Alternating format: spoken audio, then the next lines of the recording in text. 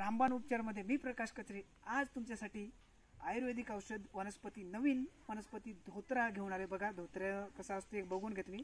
धोत्र्याचं फूल असं असते बघा. आणि हे पानं असे असतात. आणि हे धोत्र्याचं फळ बघा. तर धोत्रा बऱ्याचशा आजारात आयुर्वेदिक आजारात त्याचा उपयोग असतो. तर मी तुम्हाला धोत्र्याबद्दल सविस्तर माहिती देतो. बऱ्याचशा जणांना बघा अनेक प्रकारच्या वेदना होतात दुखतं. तर वेदना दूर करण्यासाठी धोत्र्याचं फळ हे अत्यंत आयुर्वेदिक असं औषध आहे. तर काय करायचं? धोत्राची फळं घ्यायची वाटायची चांगली पेस्ट बनवायची आणि त्याच्यात थोडंसं दोन चार थेंब मध मिळालं तर उत्तम मध मिसळायचं आणि हे मिश्रण दुखणाऱ्या जागी जर लावलं तर तुमच्या वेदना कमी होण्यास मदत होईल असं एवढं रामबाण हे औषध आहे.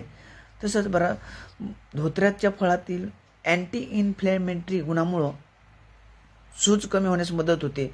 जसे मग तुम्हाला कुठे जर सूज आलेली असेल तर सूज आलेल्या भागावर जर धोत्र्याची जर पेस्ट करून लावली तर त्याच्यात सूजविरोधी गुणधर्म असल्यामुळं सूज कमी होते आणि तुम्हाला निश्चितच आराम मिळेल. असं हे धोत्र्याचं उपयोगी गुणधर्म आहे. तर तुम्ही असाही वापर करू शकता. तसेच बघा आपल्या वयोमानानुसार थोडंसं कसं हाडं कमजोर होतात. तर धोत्र्यात कॅल्शियमचे गुणधर्म धोत्र्यात भरपूर असतात. तर तुम्ही त्यासाठी हे हाडं मजबूत करण्यासाठी आपल्याला या धोत्र्या या वनस्पतीचा उपयोग होऊ शकतो. तर काय करायचं? तुम्ही काय करा धोत्र्याच्या ज्या बिया आहेत त्याचं तेल काढू शकता किंवा त्याचं धोत्र्याचा रस जरी काढून जर तुम्ही सांध्यावर मालिश केली तर तुम्हाला हाडं मजबूत होतील आणि जे तुमचं हाडाचं दुखणं आहे ते सुद्धा लवकर बरं होईल. एवढं आयुर्वेदिक आणि औषधी गुणधर्म आहे. तसेच बघा बऱ्याचशा जणांना बघा टक्कल पडण्याची समस्या असते केस गळतात सारखे हां? तर ही समस्या बहुतेक जणांना जाणवते. तर मी तुम्हाला एक साधा आणि सरळ उपाय सांगतोय.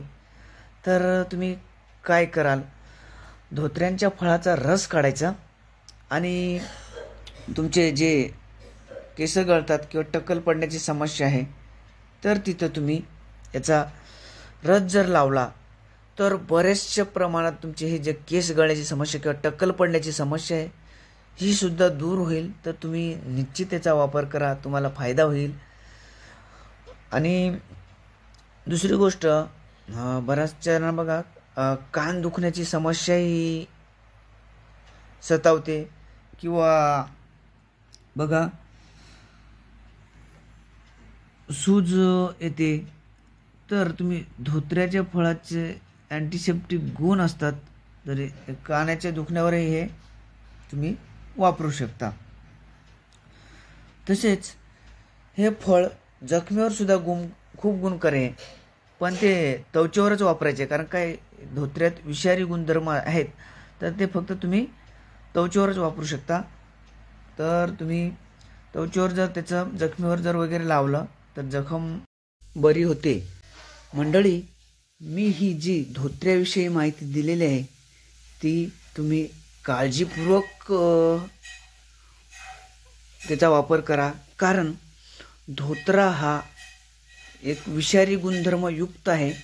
जर त्याच्या बिया चुकून जर खाण्यात वगैरे आल्या तर डोके दुखणे चक्कर येणे मळमळ होणे अशी समस्या जाणू शकते.